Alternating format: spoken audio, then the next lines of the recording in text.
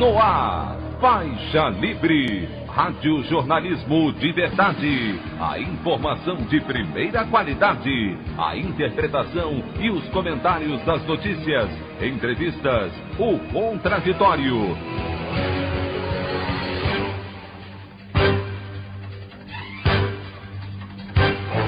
Tudo para aproximar você cada vez mais da realidade do Brasil e do mundo. Apresentação Anderson Gomes. Desmatamento da Mata Atlântica no primeiro semestre já é maior do que em todo o ano de 2019. Questionado a respeito de depósitos de Queiroz à primeira-dama Michele, presidente Jair Bolsonaro diz ter vontade de encher a boca de repórteres de porrada. Jornal Folha de São Paulo compara Dilma Rousseff a Bolsonaro em editorial, provoca revolta e pedido de resposta da ex-presidente. Essas e outras notícias na edição desta segunda-feira, 24 de agosto do ano de 2020 do programa Faixa Livre. O comentário de Anderson Gomes.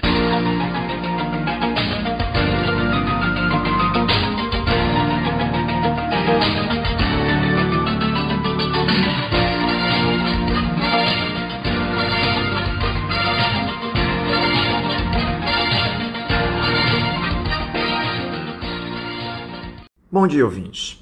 Um tema que deu enorme repercussão no último final de semana foi o editorial publicado pelo jornal Folha de São Paulo no sábado, intitulado Jair Rousseff, onde o veículo compara a gestão da ex-presidente com o atual governo no que se refere à elevação dos dispêndios públicos, com o descumprimento do teto de gastos. A comparação infeliz, para dizer o mínimo, foi alvo de um pedido de direito de resposta da petista, publicado pela Folha de São Paulo em sua edição de ontem. Eu gostaria de fazer a leitura para vocês, ouvintes, dos argumentos colocados pela ex-presidente na tentativa de desconstruir o editorial do jornal. O título do texto é A Falha de São Paulo Ataca Outra Vez. A Folha tem enorme dificuldade de avaliar o passado e, assim, frequentemente erra ao analisar o presente. Foi por avaliar mal o passado que a empresa até hoje não explicou por que permitiu que alguns dos seus veículos de distribuição de jornal dessem suporte às forças de repressão durante a ditadura militar, como afirma o relatório da Comissão Nacional da Verdade. Foi por não saber julgar o passado com isenção que cometeu a pusilanimidade de chamar de dita branda um regime que caçou, censurou, fechou o Congresso e suspendeu eleições, expulsou centenas de brasileiros do país, prendeu ilegalmente, torturou e matou opositores. Os erros mais graves da Folha, como estes, não são de boa fé. São deliberados e eticamente indefensáveis. Quero deixar claro que falo, sobretudo, do grupo econômico Folha e não de jornalistas. Quero lembrar ainda a publicação, na primeira página, de uma ficha falsificada do DOPS, identificada pelo jornal como se fosse minha, e que uma perícia independente mostrou ter sido montada grosseiramente para sustentar a acusação falsa de um site fascista. Mesmo desmascarada pela prova de que era uma fraude, a Folha, de forma maliciosa, depois de admitir que errou ao atribuir ao DOPS uma ficha obtida na internet, reconheceu que todos os exames indicavam que a ficha era uma montagem, mas insistiu, abre aspas, sua autenticidade não pôde ser descartada, fecha aspas. Quem acredita que as redes sociais inventaram as fake news desconhecem o que foi feito pela grande imprensa no Brasil, a Folha inclusive. Não é sem motivo que nas redes sociais a Folha ganhou o apelido de Falha de São Paulo. No editorial de hoje da Folha, sob o título Jair Rousseff, é um destes deliberados de má fé. É pior que um erro. É, mais uma vez, a distorção iníqua que confirma o faccionismo do jornal. A junção grosseira e falsificada é feita para forçar uma simetria que não existe e, por isto, ninguém tem direito de fazer entre uma presidenta democrática e desenvolvimentista e um governante autoritário, de índole neofascista, sustentado pelos neoliberais, no caso em questão, a Folha. Todas as afirmações do editorial a respeito do meu governo são fake news. A Folha falsifica a história recente do país, num gesto de desprezo pela memória de seus próprios leitores. Repisa a falsa acusação de que o meu governo promoveu gastos excessivos, alegação manipulada apenas para sustentar a narrativa midiática e política que levou ao golpe de 2016. Esquece deliberadamente que a crise política provocada pelos golpistas do quanto pior melhor exerceu grande influência, seja sobre a situação econômica, seja sobre a situação fiscal. A Folha, naquela época, chegou a pedir a minha renúncia em editorial de primeira página, antes mesmo do julgamento do impeachment. Criava deliberadamente um ambiente de insegurança política, paralisando decisões de investimento e aprofundando o conflito político. Estranhamente, a Folha jamais pediu o impeachment do golpista Michel Temer, apesar das provas apresentadas contra ele. Também não pediu o impeachment de Bolsonaro, ainda que ele já tenha sido flagrado em inúmeros atos de afronta à Constituição e o próprio jornal o responsabilize pela gravidade da pandemia. A Folha continua seletiva em seus erros. Falha sempre contra a democracia e finge apoiá-la com uma campanha bizarra com o bordão Vista-se de amarelo. Um país que em 2014 registrou o índice de desemprego de apenas 4,8%, praticamente pleno emprego, com blindagem internacional assegurada pelo recorde de 380 bilhões de dólares de reservas, não estava quebrado, como ainda alega a oposição. Na verdade, a destituição da presidenta precisou do endosso da grande mídia para garantir a difusão desta fake news. O meu mandato nem começara e o impeachment já era assunto preferencial da mídia, embalado pelas pautas bombas e a sabotagem do Congresso, dominado por Eduardo Cunha. Os dados mostram que a irresponsabilidade fiscal que me foi atribuída é uma sórdida mentira, falso argumento para sustentar o golpe em curso. Entre 2011 e 2014, as despesas primárias cresceram 3,7% ao ano, menos do que o segundo mandato de FHC, 4,1% ao ano, por exemplo. Em 2015, já sob efeito das pautas bombas, houve retração de 2,5% nessas despesas. As dívidas líquida e bruta do setor público chegaram em meu mandato a seus menores patamares desde 2000. Mesmo com a elevação em 2015 para 35,6% e 71,7% devido à crise que precedeu o golpe, elas ainda eram muito menores que no final do governo Temer, 53,6% e 87%, ou no primeiro ano de Bolsonaro, 55,7% e 88,7%. Logo ao tomar o poder ilegalmente, os golpistas aproveitaram-se de sua maioria no Congresso e do apoio da mídia e do mercado para aprovar a emenda do teto de gastos, um dos maiores atentados já cometidos contra o povo brasileiro e a democracia em nossa história, pois por 20 anos tirou o povo do orçamento e também do processo de decisão sobre os gastos públicos. Criou uma camisa de força para a economia, barrando o investimento em infraestrutura e os gastos sociais e constitucionalizando o austericídio.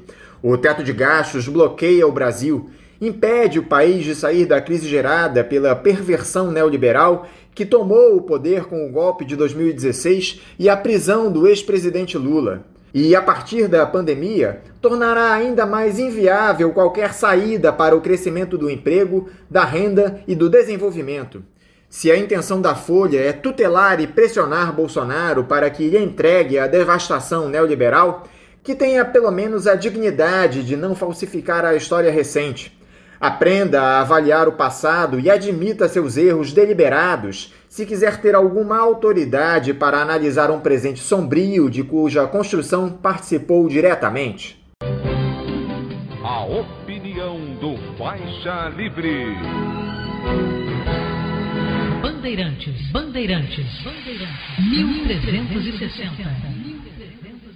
Estamos apresentando Faixa Livre.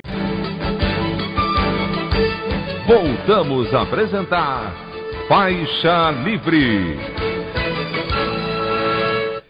Estamos de volta, ouvintes, com o início da edição de hoje do programa Faixa Livre, que tem na sua produção a jornalista Celeste Sintra, auxiliada pela também jornalista Natália Moraes, tendo no comando do áudio o Francisco.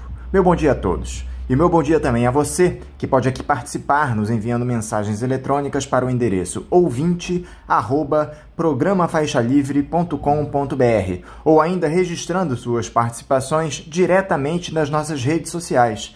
No Facebook, nossa página é o Programa Faixa Livre. No Twitter e no Instagram, para deixar o seu recado, basta seguir os perfis arroba PGM Livre. Lembrando que as participações por telefone estão inviabilizadas, pois durante o período da pandemia do novo coronavírus, nosso programa está sendo gravado no dia anterior à sua veiculação. Pedimos desculpas aos nossos ouvintes que costumam interagir conosco desta forma, mas foi a maneira encontrada pela equipe do Faixa Livre para mantê-los informados sobre o que acontece no país e no mundo com essa nossa visão crítica e, ao mesmo tempo, preservando a saúde dos profissionais que levam o programa ao ar. O Faixa Livre pode ser acompanhado também pelo nosso aplicativo para celulares com sistema operacional Android. O nome do aplicativo é Programa Faixa Livre. Os ouvintes também têm acesso à transmissão pelo nosso site, o www.programafaixalivre.com.br, ou pela página da Associação de Engenheiros da Petrobras, a AEPET, uma das nossas entidades patrocinadoras, no www.aepet.org.br. Para quem perdeu alguma das edições ou quer ouvir novamente o Faixa Livre, os áudios das entrevistas e editoriais estão disponíveis no nosso podcast, nos aplicativos Spotify, Deezer e Castbox. E dando início às nossas entrevistas, eu cumprimento o socioeconomista do Instituto de Políticas Alternativas para o Cone Sul, o PAX, e do Fórum de Mudanças Climáticas e Justiça Socioambiental, o FMCJS, Marcos Arruda. Marcos Arruda, bom dia. Bom dia, Anderson e equipe do Faixa Livre. É uma grande alegria estar com vocês novamente, reforçando esse excelente trabalho que vocês têm feito de informação, comunicação e educação da população brasileira a partir do Rio de Janeiro e com enormes efeitos em termos de consciência crítica e de visão de um outro Brasil, de uma outra é, cidadania e, quem sabe, de uma outra humanidade. Estamos aí para colaborar com o Faixa Livre. Marcos, muito obrigado por mais uma vez dialogar conosco aqui no Faixa Livre.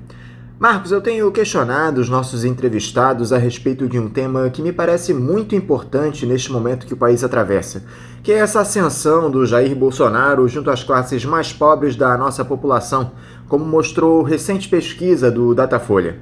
Está muito claro que essa alta na popularidade do presidente da República se dá por conta desse auxílio emergencial mas o que me preocupa é que o ex-capitão do Exército já percebeu que esses programas assistencialistas têm um poderio eleitoral imenso e anunciou esse Renda Brasil para substituir o Bolsa Família em um valor mais alto.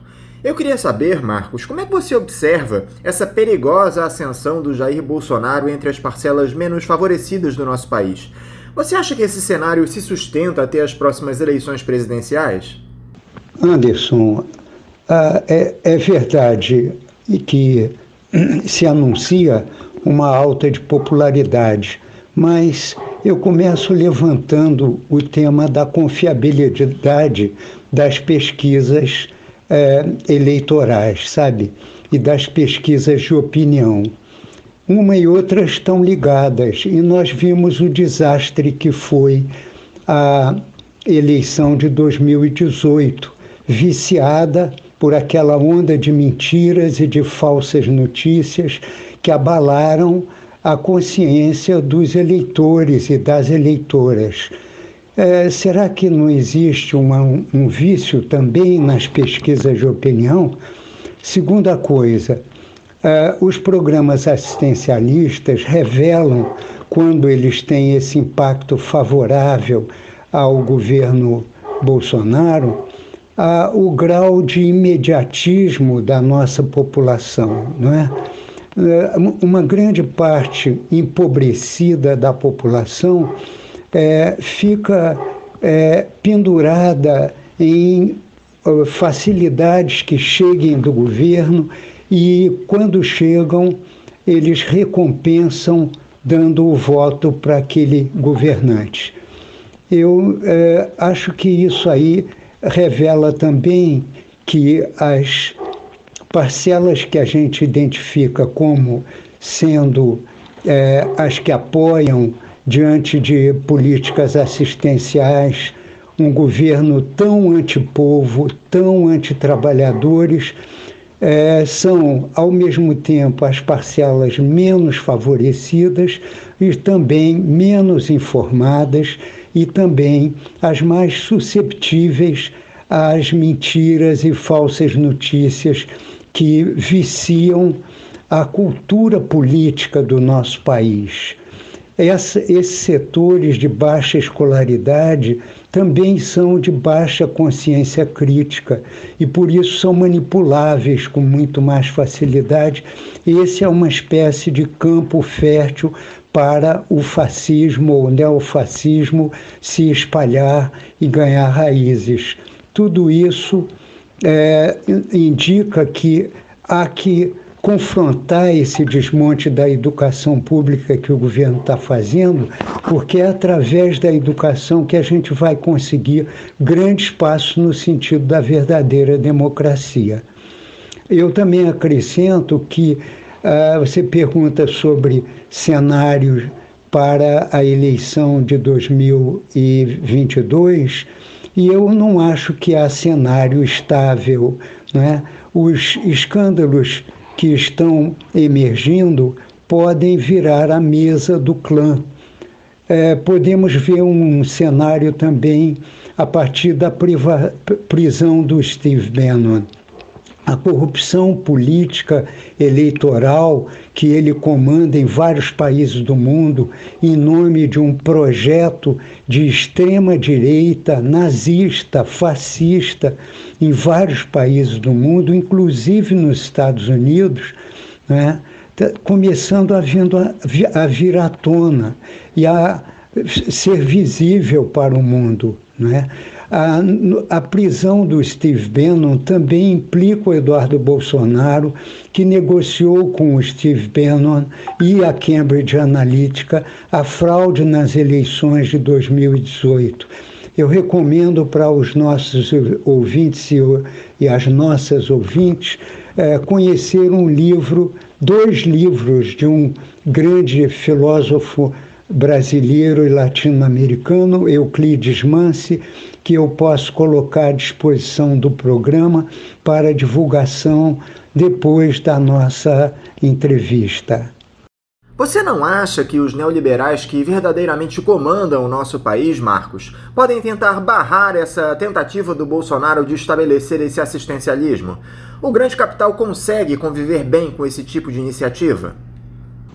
Meu caro Anderson, eu encontro como terrível o fato de que migalhas espalhadas pela população podem servir de amortecedor para os programas, para os conflitos entre as classes sociais.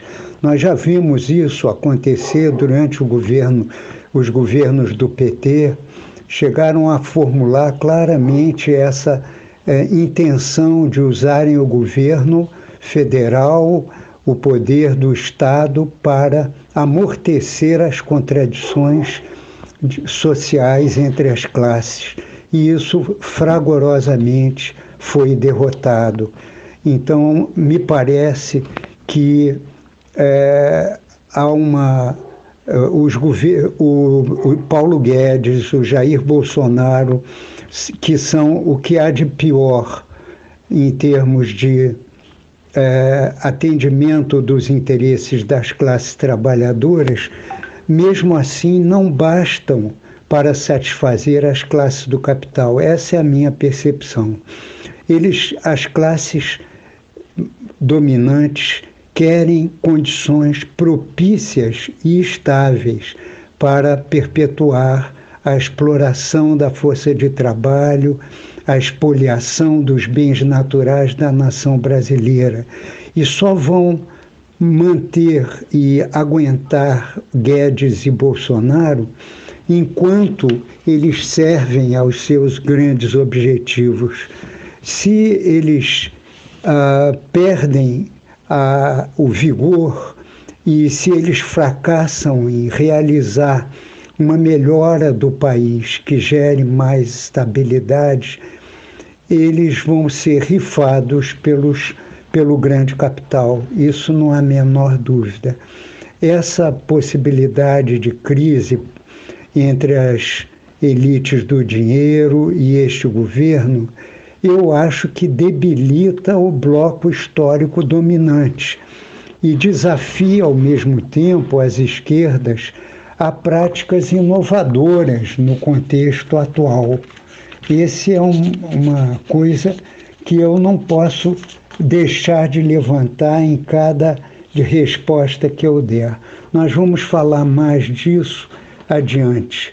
Os erros dos governos de esquerda que nos levaram, em parte, àquilo que o Brasil está vivendo com horror atualmente. Agora, outro episódio lá em Brasília que nos trouxe enorme preocupação, Marcos, foi aquele dossiê contra servidores antifascistas produzido pelo Ministério da Justiça e Segurança Pública, em uma clara tentativa de perseguir politicamente quem se opõe ao governo Bolsonaro. Que o autoritarismo é uma face muito evidente dessa gestão, todo mundo sabe, Marcos. Mas usar arapongagem para intimidar opositores é algo que talvez só a ditadura militar tenha feito no nosso país. Anderson, a meu ver, eh, o dossiê é, produzido pelo Ministério da Justiça agride os servidores públicos e é, esconde, ao mesmo tempo, a sua identidade. Foram 579 é, nomes incluídos nesse dossiê, acusados de suspeição de serem ativistas antifascistas. O que, que isso quer dizer? Isso quer dizer que os que perseguem antifascistas estão declarando publicamente que são fascistas. Mas, além disso, esse fato demonstra que o governo de Bolsonaro age coerente com a sua aspiração a ditador, como você indicou na sua pergunta. Agora, a política dos dossiês secretos como instrumento de intimidação e perseguição a servidores públicos é intolerável numa democracia, mesmo quando é a democracia burguesa. É? é uma perfila já uma situação semi-ditatorial, certamente gravemente autoritária. Notemos também, meu caro, que o dossiê foi elaborado quando o Sérgio Moro era o ministro da Justiça. Esse dossiê não caiu do céu nas mãos do ministro Mendonça, atual, atual da Justiça. Ele veio sendo elaborado ao longo dos meses, tendo nascido quando o Sérgio Moro era o ministro. Portanto, mas um gesto autoritário ao arrepio da lei para engrossar a folha corrida de Sérgio Moro. Diante de todo esse cenário de caos econômico no nosso país, Marcos, que foi potencializado pela pandemia do novo coronavírus, você enxerga alguma saída para esse processo de empobrecimento da nossa população dentro dos parâmetros estabelecidos pelo neoliberalismo? Na última quinta, o professor Daniel Arão Reis conversou aqui conosco e falou da necessidade de se estabelecer aquele projeto de renda básica universal. Você acha que esse é o caminho para se reverter esse quadro, Marcos? Caro Anderson, novamente uma boa pergunta. Nós estamos, eh, de fato, diante de um cenário de caos econômico agravado pela pandemia, mas não criado por ela, simplesmente agravado né? e a perspectiva de saídas do empobrecimento são muito débeis e é, desafiadoras. É, eu gostaria de começar a elaborar um pouquinho sobre ah, medidas básicas para sairmos da crise, não é? é? Um pressuposto fundamental é de natureza política para nós conseguirmos realizar o desmonte do desmonte, porque o governo Bolsonaro e o governo golpista de Temer fizeram um desmonte gradual e progressivo do Estado brasileiro e dispersaram as nossas riquezas, o nosso patrimônio público, nas mãos do setor privado, grande capital, e nas mãos estrangeiras, principalmente do Império dos Estados Unidos, com as suas corporações e um governo altamente predatório dos seus vizinhos. Então, desmonte do desmonte. Para conseguirmos isso, nós temos que conseguir modificar a correlação de forças é, e conseguir construir um bloco histórico favorável à redemocratização do Brasil. Essa é a minha visão de médio e longo prazo. Né? É, há medidas de curto prazo, de médio e de longo prazo. Você menciona a renda básica que foi falada pelo Daniel Arão Reis, que foi encaminhada desde 2004, já como lei aprovada no Congresso, pelo Eduardo Suplicy, na época senador da República, e que também é um clamor de uma das redes globais com quem nós colaboramos, nós do Pax e nós de outras redes globais das quais fazemos parte. É o movimento humanista que está encaminhando para o secretário-geral da ONU uma carta clamando pela renda básica universal é, e sem condições que beneficie a, as populações mais pobres do mundo e que seja financiado pelo maciço crescimento da produtividade obtido ao longo dos anos desde a Segunda Guerra Mundial, mas também financiado pela quantidade de dinheiros submersos que têm sido sonegados do povo trabalhador pelas classes ricas, na forma de sonegação de impostos de fuga de capitais para refúgios fiscais, que muitos chamam de paraíso fiscal, e que é, criaram todo um sistema de especulação que rouba dinheiro do investimento produtivo para estimular a acumulação é, fraudulenta e imoral de recursos que não geram qualquer riqueza para a população trabalhadora. É, nós, esse caos econômico, ele impede muita coisa, sem dúvida, e principalmente porque ele está fazendo uma involução no Brasil. Nós estamos abrindo mão de indústrias estratégicas, de conglomerados estatais estratégicos e criando uma relação novamente colonial com as potências é, predatórias do hemisfério norte, a começar pelos Estados Unidos. Um desses aspectos é a redução da economia brasileira, novamente, a exportadora de matérias-primas e produtos de baixo valor agregado. Isso é um, um, um descalabro em termos econômicos. É como vender a galinha de ovos de ouro que produzia ovos de ouro para o Brasil e depois sair para comprar ovos de ouro e pagar. E para isso ter que pagar a quem agora é o novo possuidor da galinha. Uh, outro elemento que você menciona na pergunta é sobre o Covid-19. E aí eu vejo duas caras da pandemia.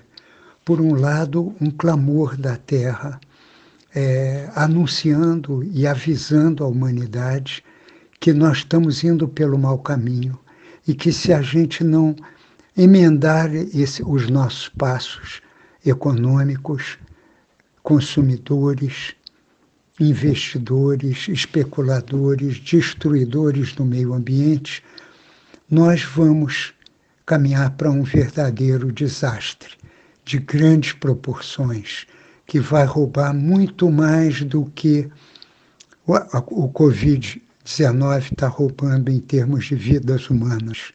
Portanto, é, a Terra está dando um tempo para nós ao fazer, a sacudir a humanidade para essa realidade que um pequeno vírus é capaz de mudar a vida do planeta. O segundo elemento é que o vírus está servindo de freio na compulsão do crescimentismo, que eu chamo, que é o mesmo que crescimento econômico ilimitado. O freio que está sendo imposto está reduzindo é, a produção, o consumo, o investimento e está criando um gargalo de, de enormes proporções nas economias do mundo. Portanto, é preciso uma reversão do crescimentismo para que a economia ganhe saúde e para isso, só um outro programa é que pode ah, permitir o tempo para a gente discutir o suficiente. Ainda o Covid-19, o neoliberalismo, eh, os países neoliberais de menor incidência pública eh, de políticas sociais e de saúde estão dando os piores indicadores de contágio e de mortes pelo coronavírus. Ao mesmo tempo, os estados voltados para o social ou os estados socialistas têm dado os melhores indicadores. Isso quer dizer alguma coisa importante. Para encerrar, Marcos, como é que você tem visto o mundo atualmente, com essa pandemia do novo coronavírus, as mudanças climáticas cada vez mais intensas? São sinais de que o planeta pede socorro, Marcos? Anderson, uh, quase todos os nossos entrevistados falam criticamente sobre a situação mundial. Eu gostaria de dar um contraponto a isso, não que eu não reconheça, ao contrário que existe uma expansão do, da extrema-direita conquistando estados nacionais e fazendo desastres tanto na economia como na vida do, do povo trabalhador de vários países do mundo. Existe o expansionismo dos Estados Unidos na América Latina, tentando recuperar terreno que estava perdendo para governos populistas ou sociais de prioridade social. Existem várias guerras e um tremendo desperdício de dinheiro na produção de armamentos, no financiamento de guerras, no financiamento pelos Estados Unidos de oitocentas e tantas bases militares americanas espalhadas pelo mundo, principalmente pela América Latina. Tudo isso são realidades tristes, não é? E que acenam para um futuro próximo bastante uh, sombrio. Uh, eu gostaria de mostrar um outro lado da história, que é a articulação que nós temos conseguido é, de organizações da sociedade civis pelo mundo afora para atuar em busca não apenas de crítica do sistema globalizado do capital, mas também de inovações no campo econômico, político, social e cultural. É, Para isso, a gente tem que olhar algumas redes. Eu começo com a rede que você mencionou ao me apresentar, o, fundo, é, o Fórum Mudanças Climáticas e Justiça Social, que está articulado com entidades de nove países ao todo, incluindo o Brasil, onde a floresta amazônica é, existe e se reproduz. É, esse movimento ganhou um grande impulso com o empenho do Papa Francisco em promover a defesa da floresta amazônica, dos povos da floresta e das águas desse imenso ecossistema, esse imenso bioma.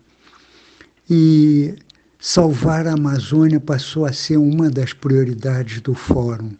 E, junto a ele, a luta pelo reconhecimento legal nacional, estadual e municipal da terra como sujeito de direitos.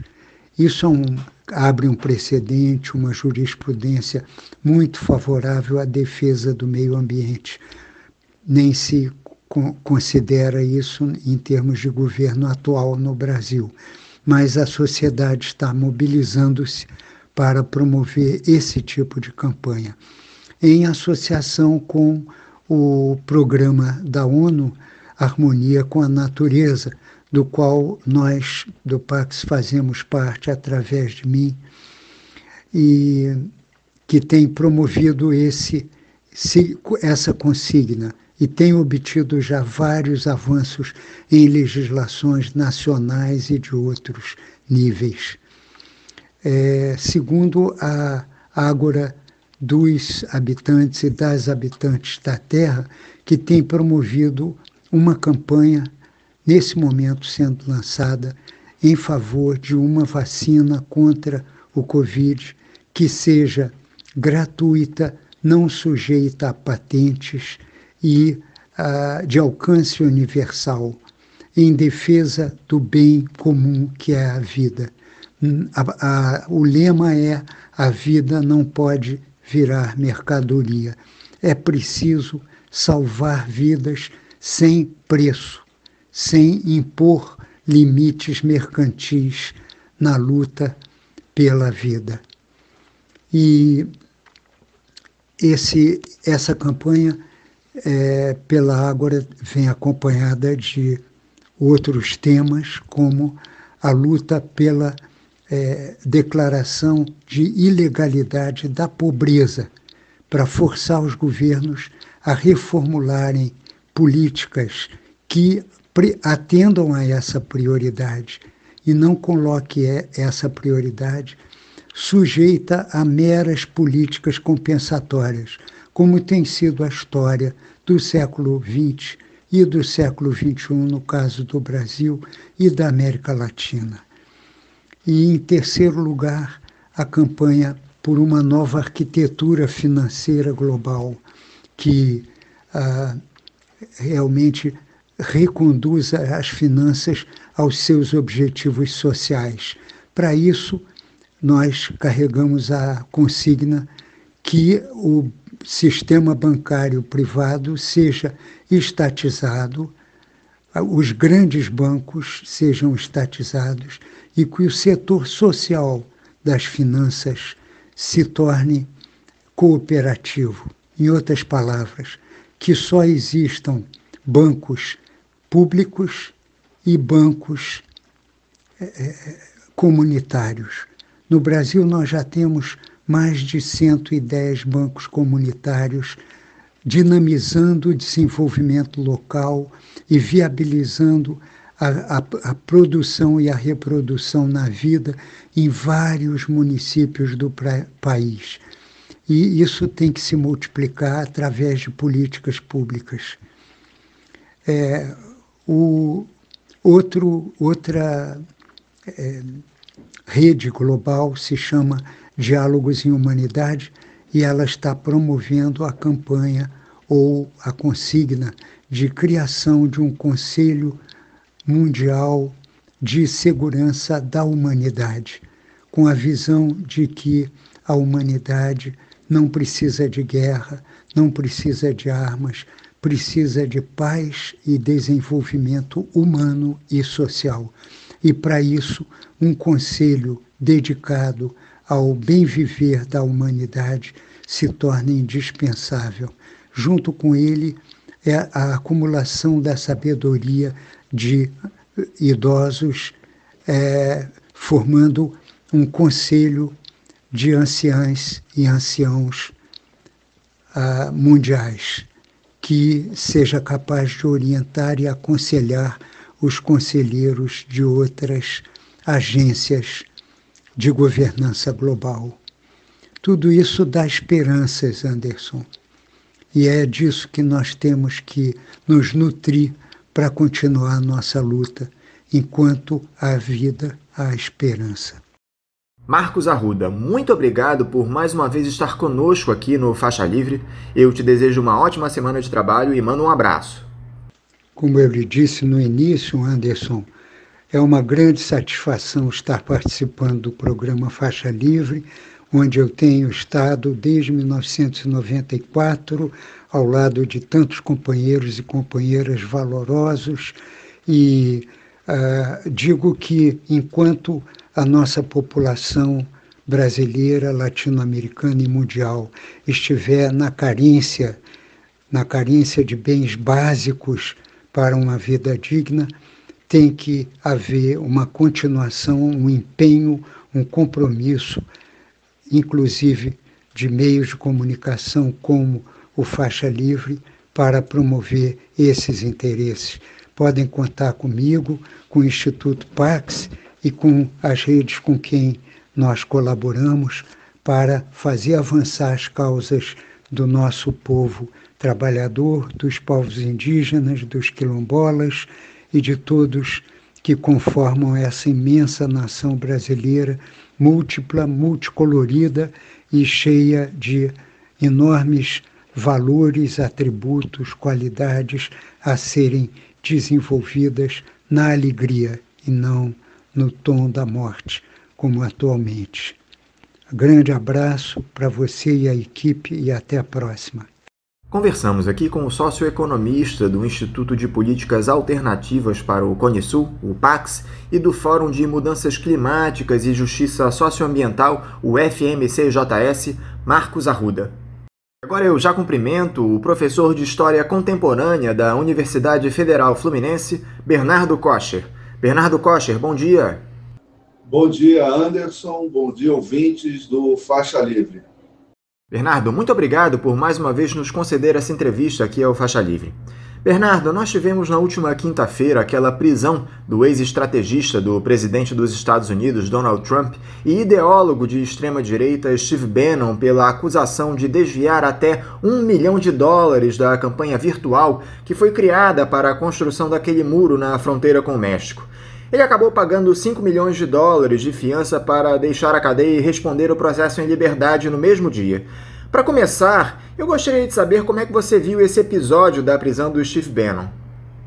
Bem, a prisão de Steve Bannon pode representar muitas coisas. A primeira que identifico é o fato de que há um ato político muito profundo é, a partir da dominância do Partido Democrata de setores do judiciário é, norte-americano que estavam à beira, à, à cata né, dessa, de alguma irregularidade, sabendo que é, esse senhor é, é, capaz de metar as eleições, principalmente é, através de fake news, usando a internet, o WhatsApp. Nesse momento de pandemia, onde a aglomeração é, humana se torna praticamente impossível em termos de campanha eleitoral, eles resolveram agir para evitar que ele voltasse a atuar como atuou na eleição anterior de Donald Trump.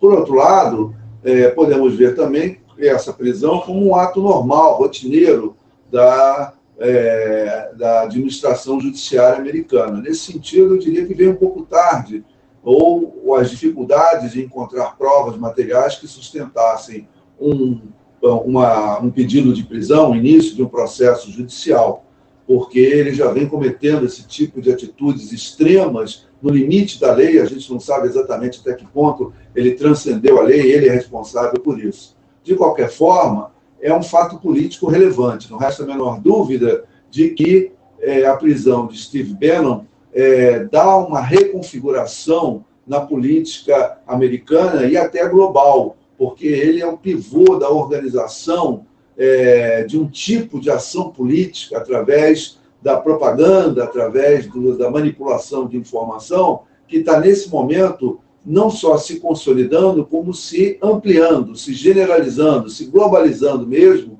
e o que o torna um elemento central é, da ação política da direita, na realidade, da extrema-direita norte-americana, que busca uma forma de legitimação interna através do espraiamento de governos é, de extrema-direita na América Latina e também na Europa. É, na Ásia, isso é bem difícil de ver, de formas que é, eu creio que a prisão dele reflete um pouco a crise da hegemonia americana, né? a dificuldade dos Estados Unidos se posicionar no sistema internacional.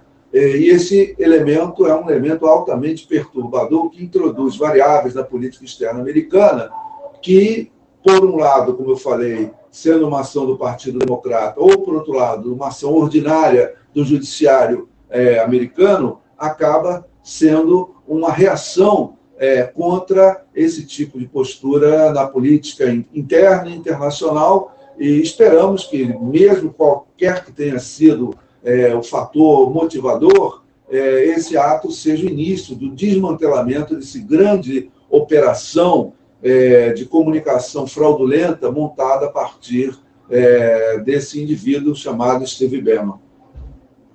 Além de ter influência enorme naquela cadeia criminosa global de produção e compartilhamento de notícias falsas, Envolvido no escândalo da Cambridge Analytica, o Bannon é conselheiro da família Bolsonaro. Já esteve algumas vezes com o filho do presidente da República e deputado federal Eduardo Bolsonaro. Fez uma série de elogios a ele e, evidentemente, tem conexão direta com todo esse crime que foram as últimas eleições no Brasil, que levaram o ex-capitão do Exército ao Palácio do Planalto na base do financiamento empresarial dessa fábrica de fake news, Bernardo. Você acredita que a prisão do Steve Bannon possa, de alguma forma, enfraquecer essa estratégia do bolsonarismo de se capitalizar por meio de notícias falsas? Bem, Anderson, a prisão de Steve Bannon vai nos expor necessariamente a um teste, qual seja a de se a estrutura que ele criou, que é uma estrutura baseada muito na ação política individual dele, né, com alguns poucos assessores, essa estrutura que ele criou vai sobreviver à ausência política dele, porque eu creio que qualquer que seja a motivação é, da prisão dele, conforme nós afirmamos na pergunta anterior, esta motivação vai ter uma consequência clara. Ele vai se afastar da vida política, pelo menos de forma oficial, ou pelo menos de forma bastante contundente, bastante profunda. E nos resta um segundo teste, né? Saber se aqui no Brasil a estrutura que ele montou ganhou vida própria né? É um segundo teste, essas estruturas de comunicação, de financiamento, né? Todo um aparato de ideias, né? Um ideário político, ideológico vai sobreviver e vai se reproduzir sem a figura do Steve Bannon. Eu creio que, em grande parte, essa estrutura vai ter condições de sobreviver sem ele. Não vai ter o mesmo brilho, nem a mesma é, competência que ele demonstrou em articulação política, construção de um projeto político é, global, mas ele tem condições porque grande parte dessa estrutura tem atores sólidos, são empresários, são partidos políticos, são é, pessoas do Estado, atores do Estado, militares, judiciário. Então, essa máquina já está em operação e, na realidade, antes mesmo da, da, da, ação política de Steve Bannon, que começou, se eu não me engano, no meados da década passada, é, essa coisa já estava em funcionamento, já tinha um pouco de, de dinâmica própria. Então, nós estamos perante uma dúvida, mas uma quase certeza de que essa estrutura baseada em fake news, em construção de é, negação da realidade, né, do relativismo das coisas reais, eu acho que tem vida própria e vai prosperar ainda durante algum tempo. Não vai ser a prisão dele que vai derrogar essa capacidade de interferência na vida política de elementos é, tão irracionais. Agora, como é que esse episódio afeta a campanha de reeleição do próprio Donald Trump lá nos Estados Unidos, Bernardo? A situação que já era difícil para o presidente estadunidense parece que piora ainda mais. Bem, a prisão de Steve Bannon, efetivamente, é, não é um fator positivo para a campanha de reeleição de Donald Trump. Por outro lado, devemos ter em mente que a forma de fazer política e de governar que essa corrente é, inaugurou e tem defendido com sucesso, uma vez que tem se ampliado lentamente e com a, com a vitória de vários governos na Europa e na América Latina, essa forma de fazer política, ela é, não considera isso como um desgaste, porque os eleitores que votam em, na extrema-direita, em estilo Donald Trump e, e Jair Bolsonaro, eles já estão preparados, eles já concordam de que o establishment está superado e, de, e que, com isso, essa prisão vão, vai ser elaborada como sendo algo, uma perseguição ou algo como uma é, ação política. Então, eu creio que a gente deve considerar, isso as pesquisas vão demonstrar, eu creio, daqui, daqui para frente, que o presidente Donald Trump ainda é um candidato viável, ainda tem condições de vencer, isso por conta é, desse tipo de ação política que encontra ressonância num eleitorado que se descolou dos partidos tradicionais com a crise política que já se arrasta há mais de 50 anos, com as dificuldades dos partidos, principalmente os partidos de esquerda, de exercerem um programa de ação, um programa de governo é, coerente, consequente, de reformas, de manutenção de direitos. Então, o eleitor, é, muitas vezes desempregado, desiludido, é, irritado com a corrupção, acaba aceitando a corrupção dentro do jogo político, dizendo já que eles fazem, os nossos também agem, mas a nossa ação é, em torno da corrupção é para consertar as coisas. Então, temos isso, muito sexismo sobre os efeitos da campanha de Donald Trump, é, porque acreditamos que ele ainda é um candidato viável, um candidato que tem condições de chegar junto a Biden, que efetivamente está na frente nas pesquisas, mas o processo político eleitoral norte-americano é muito complexo e viabiliza a candidatura de Donald Trump, é, a vitória dele ao segundo mandato. Por falar em eleições nos Estados Unidos, Bernardo, eu gostaria de ouvir a sua análise para essa convenção do Partido Democrata que confirmou Joe Biden e Kamala Harris como candidatos a presidente e vice no pleito de novembro. Quem roubou a cena nessa convenção parece que foi o casal Obama, que atacou fortemente o Donald Trump, Bernardo. Olha, vivemos um período muito especial na vida social é, do mundo pós-guerra, um período de reclusão da aglomeração é, humana, né, por causa da difusão de um vírus é, extremamente letal. Então, a política reflete um pouco essa situação, uma vez que a ação política prescinde de é, ajuntamentos humanos, os comícios e as convenções partidárias. É assim que tem sido feito. A Convenção Democrata é, contornou esse problema tecnicamente muito bem montou um espetáculo, montou uma narrativa adaptada à difusão é, pela internet, né, com a participação remota é, de público e de atores, né, de candidatos e de apoiadores. Ressalte-se aqui a forte e a eloquente é, participação do presidente Obama e de sua ex-presidente Obama e sua esposa Michelle Obama, é, mas o grande problema que vejo na Convenção Democrata e que considero ser um pouco de risco para a vitória de Biden é o fato de que ele não abraçou é, a esquerda da sociedade americana disposta, predisposta a votar nos democratas. Não abraçou, é, não contemplou com muita clareza as demandas sociais, não contemplou direitos, não contemplou emprego, e focou muito é, na desordem, na oposição a tudo que representa Donald Trump. Eu creio que pode ser um problema, uma vez que o isolamento social vai inibir a presença do eleitor nas urnas. Essa que é a grande é, novidade. Vai inibir frontalmente os eleitores, principalmente os democratas, que são mais sensíveis à mensagem do, da necessidade do isolamento social. Os republicanos não, esses vão às urnas. Né? E, visto isso, é, temos que ainda que considerar que na, nas eleições americanas e na vida política partidária americana, o importante não é só conquistar os corações dos telespectadores, como foi o caso da internet, da convenção é, democrata. O importante é que ele se registre nos cartórios eleitorais e que efetivamente vote.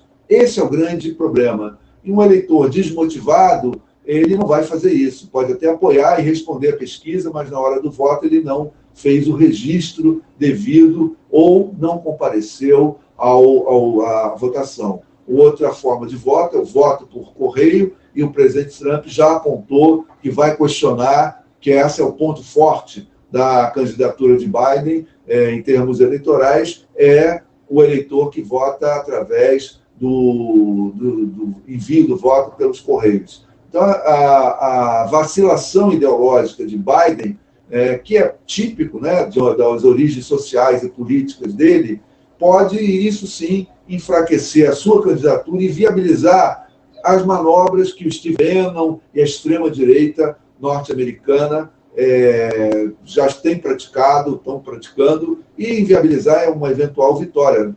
Lembremos que nos Estados Unidos, mesmo o candidato que tem o maior número de votos, não necessariamente é o vitorioso, porque passa pelo colégio eleitoral.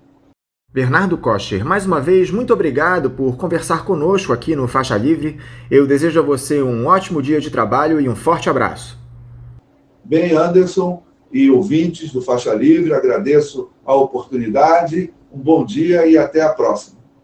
Conversamos aqui com o professor de História Contemporânea da Universidade Federal Fluminense, a UF, Bernardo Kocher.